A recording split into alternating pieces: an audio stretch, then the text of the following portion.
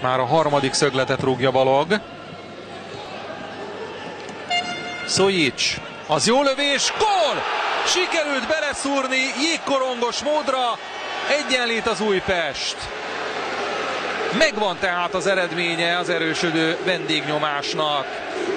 Nem sokáig örülhetett a Puskás Akadémia. Jonathan Harris.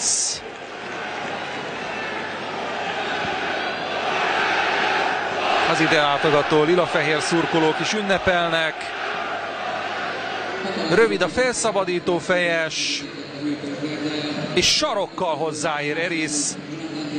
Természetesen reflex mozdulat, de nagyszerűen sült el az Újpest szempontjából. Az bravúra.